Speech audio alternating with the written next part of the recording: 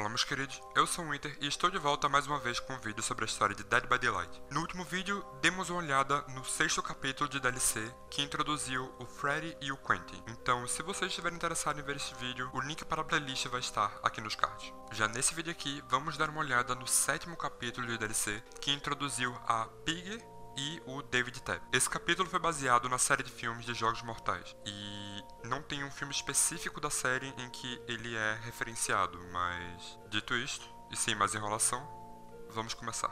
Para começar, temos o detetive David Tep. David era determinado a colocar todos os criminosos atrás das barras trazer justiça para suas vítimas. Ele era respeitado como um detetive, mas um certo caso foi a sua ruína. Quando ele viu o caso de Jigsaw, não pensou que era algo muito diferente do que estava acostumado. Os detalhes eram muito macabros, mas ainda era só um maníaco psicopata tomando vidas. Um informante levou Tep e o seu parceiro, Stephen Singh, até uma fábrica de manequins abandonada. Eles apreenderam o suspeito, mas ele conseguiu escapar e cortou a garganta de Tep no processo. O detetive caiu no chão, deixando seu parceiro sozinho para perseguir o suspeito. David foi se arrastando atrás deles, mas seu parceiro cometeu um erro fatal e caiu em uma armadilha que ativou quatro espingardas direcionadas a ele, matando no processo. Tep viu seu parceiro morrer e se culpou por ter sido ele quem sugeriu entrar no local sem o mandado e sem avisar a outros policiais. Ele transformou essa culpa em determinação para achar o assassino. Suas investigações o levaram até o Dr. Lawrence Gordon, então Tep resolveu ficar de tocaia na frente de seu apartamento. Uma noite, ele viu um homem na janela de Lawrence e então ouviu um disparo. Ele foi correndo até o apartamento e confrontou o assassino. Então, uma luta começou, e infelizmente a idade de Tep foi a sua ruína. Nos seus dias mais jovens, ele teria facilmente ganho a luta, mas ele teve dificuldade e acabou sendo baleado. Nos seus momentos finais, ele só conseguia pensar em todas as pessoas que morreram por sua falha, e como ele deixou seu parceiro morrer, e em como ele queria ver todos os criminosos encarcerados. Mas não conseguiria fazer isso. Então ele deixou esses sentimentos o consumirem e fechou os olhos. O chão em que estava deitado ficou molhado, mas não era de sangue. Era o solo de uma floresta, ele não sabia onde estava, mas existiam pessoas precisando de sua ajuda, e ele ainda tinha um trabalho a fazer. Seus anos como detetive e sua determinação marcaram a história de Tep, e isso é representado em seus perks. Eles são Tenacity, Detective's Hunt e Stakeout. Conseguir sobreviver depois de ter a garganta cortada não é para qualquer um. Agora, perseguir um criminoso depois de ter a garganta cortada é praticamente impossível. Mas foi isso que ele fez. Tenacity demonstra isso dentro do jogo, aumentando a velocidade em que ele se arrasta pelo chão enquanto derrubado. Sua experiência como detetive deu a Tep um sexto sentido.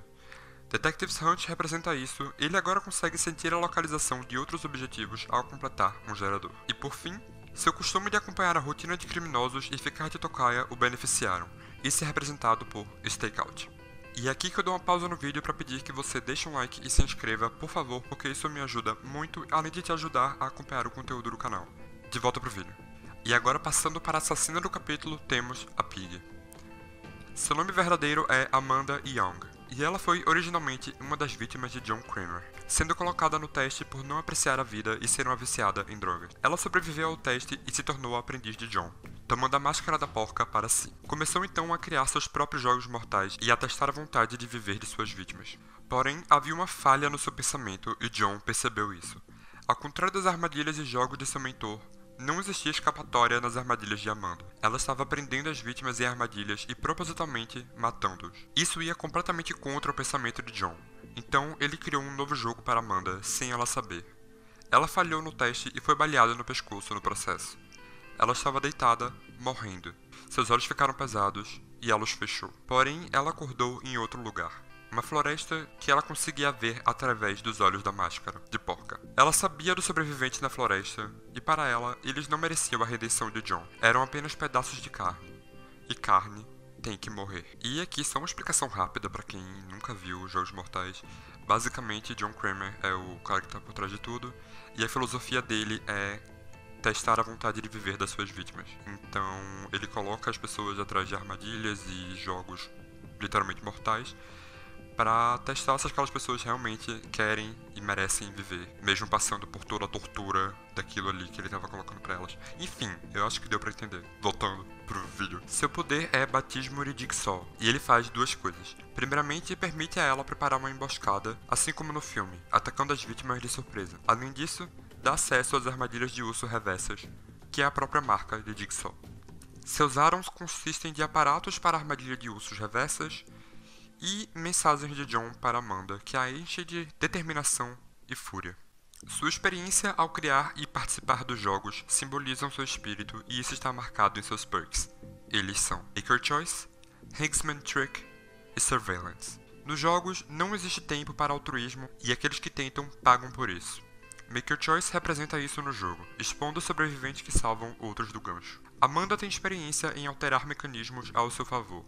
Ela então alterou os ganchos para serem a de sabotagem. Higsman Trick demonstra isso. E por fim, ela estava acostumada a observar o comportamento de suas vítimas e tirar proveito disso. No jogo, Surveillance mostra a situação dos geradores que foram chutadas por ela recentemente, permitindo-a saber a localização dos sobreviventes. E, por fim, o mapa que veio com a DLC foi o Gideon Smith Plant, o local do último jogo que Amanda participou e também o local de sua morte. O lugar foi criado por John em seus tempos de engenheiro, para ser uma fábrica de embalagem de carne e agora serve como um local de tortura para suas vítimas no reino da entidade. E bem, é isso. Obrigado por ter assistido até aqui. Eu não sei se deu pra perceber, mas ao contrário de Halloween e de Hora do Pesadelo, eu não gosto de jogos mortais. Então, eu só fiz a pesquisa necessária para fazer esse vídeo e eu não realmente vi todos os filmes da série. Mas se você tiver interesse, sinta essa vontade.